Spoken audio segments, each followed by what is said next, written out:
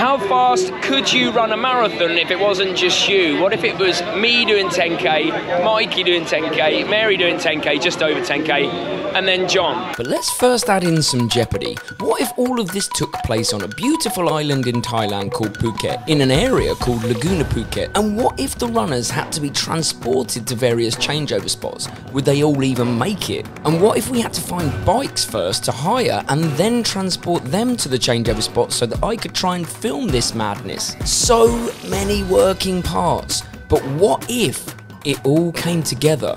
What would happen? So this was it. The aim really was to have fun and celebrate the end of another school year in Thailand using the Laguna Phuket Marathon to run a relay marathon. The goal was simple. We each run 10.5 kilometres as hard as we could and see what happens with regards to time and place. I was on first leg and then I would hand over this baton with the timing chip in it to Mikey. He's going to hand it to Mary and then to John to bring it all home. What could possibly go wrong? Okay, we're on the fun bus making our way to um, checkpoint two. We've got the bike on board and Mary's up ahead in the next one.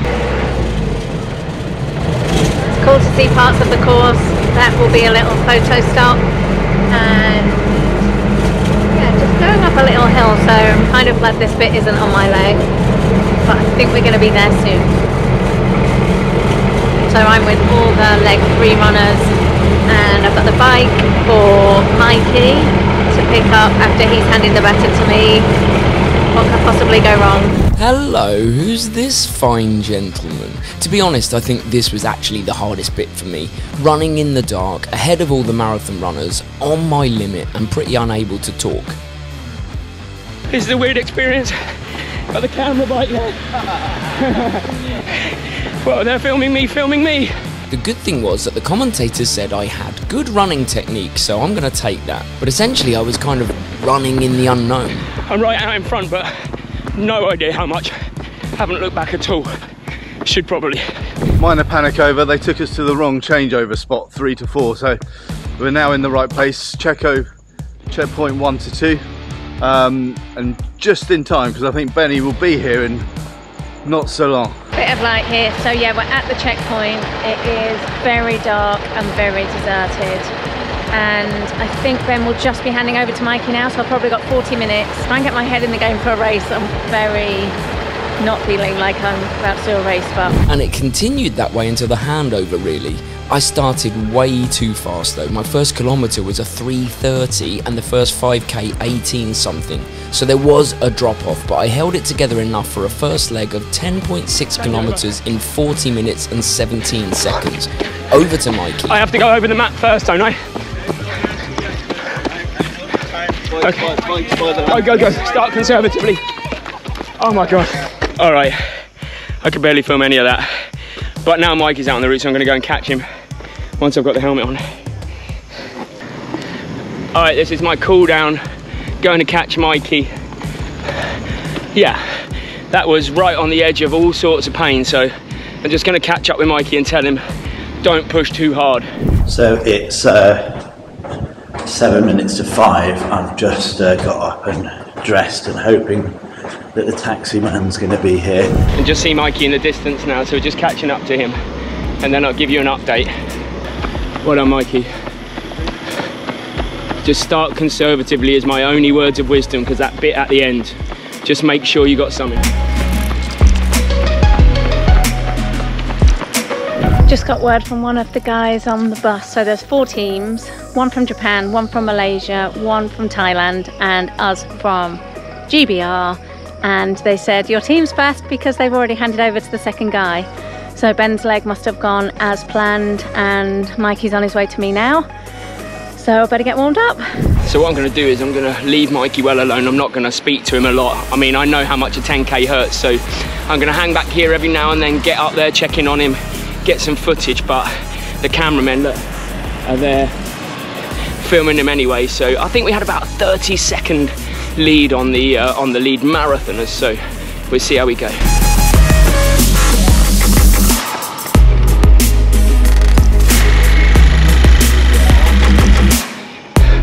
We're going up quite a nasty hill, but I don't want to say it out loud in front of Mikey. I don't want him to feel bad, but it's hurting me on the bike.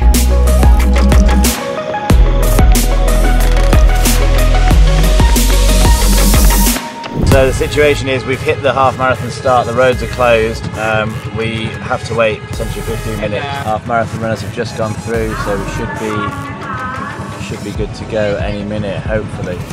But time is ticking and uh, Mikey is running so uh, let's hope he's not too fast eh? So you probably know better than me, but John is uh, trying to get to his changeover. He's hit a roadblock so far, but hopefully all is well. He's got plenty of time, so um, yeah, we're not we're not too worried yet.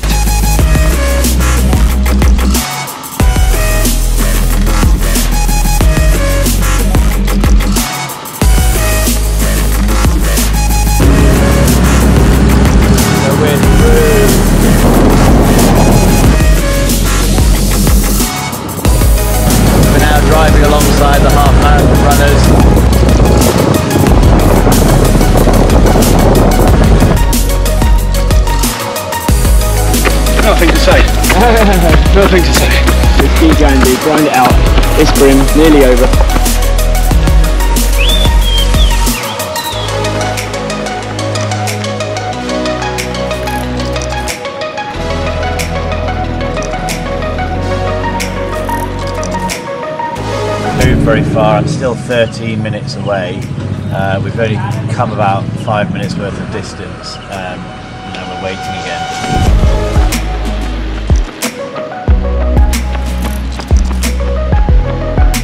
Mikey's doing really well as well. He um, he went through certainly because I'm on the bike. I'm not really recording the running times every kilometre, but we went through a 5k in 19:45, so we're, we're still sub 20 on the 5ks, and he had the hills, so got to be happy with that.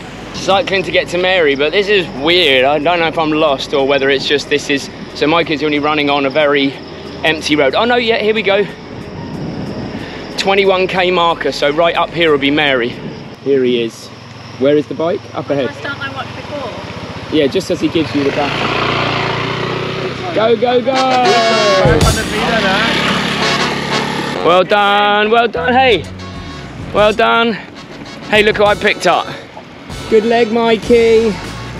So now we're just uh, cycling up to get to Mary. How did it feel, Mikey? Good? Yeah, it's good. Managed to push all the way, which is all I wanted. Yeah. Uh, nice bit rolling and uh, yeah, it's definitely warming up. Mary will have a sweaty one, I think. First off, let's give Mary some credit here because she's running on her limit, having just recovered from COVID last week and doing a solid job. Now, I think that's grit right there. So Mary's just reported in that she's got a stitch. So I just told her to slow down. Like this is supposed to be for fun first and foremost. So fun first. Well done.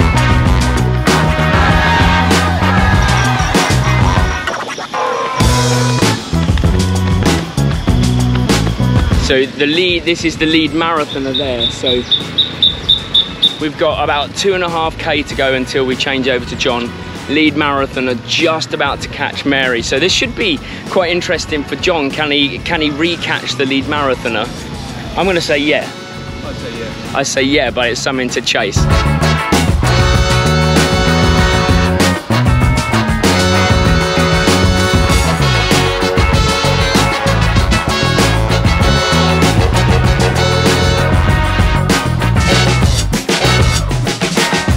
Ten past six. I'm just waiting for Mary to come in. I made it to the uh, changeover point, um, expecting her any second. So um, need to be ready. But yeah, made it okay. There's only two other teams, I think, three teams total. So not a big field for the marathon relay, but hopefully Mary will be here soon. I'm just keen to get underway now. It's a lot of faffing to get to this point.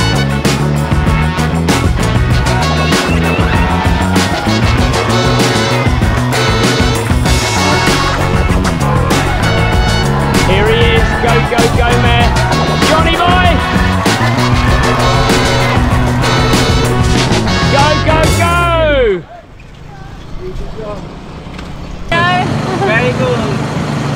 Joe is taking me back to the finish because I am done in more ways than one. Oh my goodness, that was way harder than I thought it was going to be. I had a stitch. I was really stressed. Uh, my heart rate was so high, and I was really, really panicking because it's a team, and I didn't want to let anyone down. Um, but Ben was there on the bike. I said I've got a stitch, and he was like, "Slow down until it's gone. Don't worry."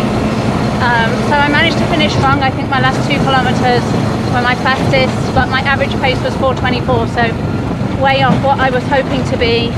But as a team, we're in the lead. There's one marathon runner ahead of us, so he overtook me. Um, I kind of want the guy to win because he's doing the whole thing solo, but I'm sure John will try and do what he can to grab the top spot. Okay, I got some cycling to do to catch up with John and Mikey now, but Mary's fine. She feels like she's let us down and she absolutely hasn't, so um, I think we're going to win this. I think John's got that in the bag, so let's catch up. Okay, we're now rolling with Witten. Just taking the baton from Mary. Going to be interesting. He's got about a minute to make up on the overall leader. Um, we joined up with the half marathon course, so it's quite busy. But John is in full flow. 10.5k to go. Mikey out.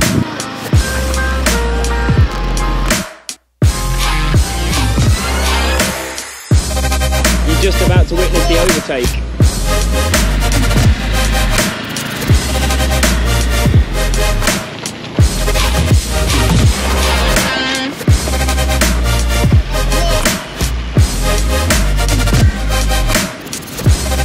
So John's just overtaken the uh, the lead actual marathon runner, which is, I mean, to be running that type of pace in these type of conditions is ridiculous, and we're running 10k's. So John's just gone ahead now. Okay, I'm going to relax now and feel like I can enjoy it. We're well past the boys and we're moving with speed. So I've got a nice breeze, really cool. There's an amazing atmosphere on the course. It's the last three kilometres of the course now, so yeah, there's everybody's kind of like feeling it, but they know they're going to get there.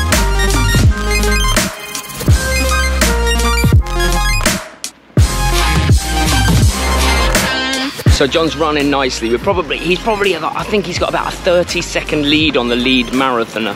So uh, we should start to pull away a little bit in the last five, six k. Usually, yeah, or maybe not 30 seconds, maybe 20 seconds, but we should pull away a little bit. I think it's going to be a tough one.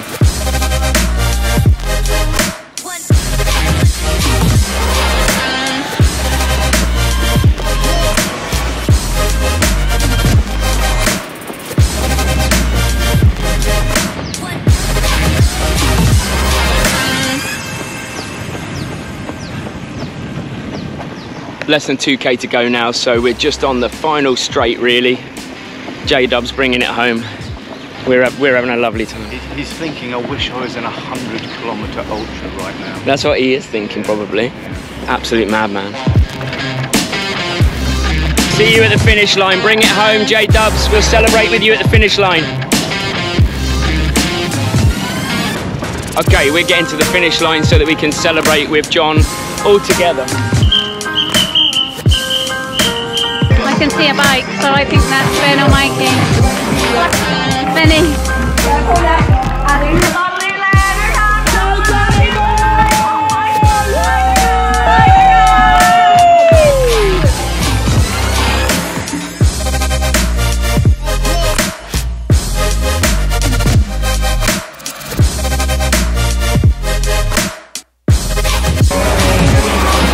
So we won. We're just waiting for the award ceremony now. Uh, apparently 8 a.m., but it's a tie 8 a.m. It's 7:36 now.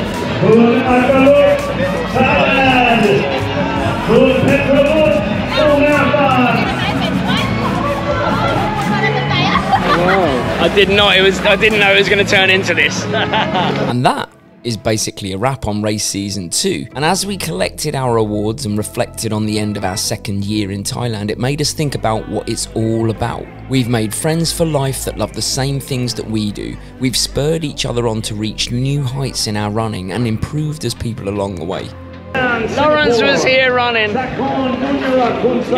We've had so many highs and just a few necessary lows to balance it out. But we know that really, this journey is only just beginning. Year three of our Thailand life is ahead, but first, a three week stint in the UK, so maybe we'll see you out there. And we really need to thank Raymond and the guys at GAA Events for being so amazing and helping us make this happen. And we've also got to thank Julia and Jane at the team at Laguna Phuket for sorting out so much of the logistical stuff for us and providing loads of the footage that you've just watched. And we'll definitely be back in November to race the Laguna Phuket Triathlon. So if you're into your sport or you're training or you're relaxing, then Laguna Phuket has got to be checked out if you're over in Thailand for sure. And obviously, we've just got to thank you legends for watching to this point and being part of this awesome community that we're building and we absolutely love. Running is about so much more than being fitter. It's a way of life. And we want to share that with you and help you be your best selves. So if you feel like it, subscribe to the channel so that we can help you more and reach others that we can help too. What I do know is that we've got some huge races coming in year three, including the New York Marathon, hopefully Boston, UTMB, and so many more. So join us on the journey and check out this video here if you want the hard truths of running. And I'll see you next Sunday.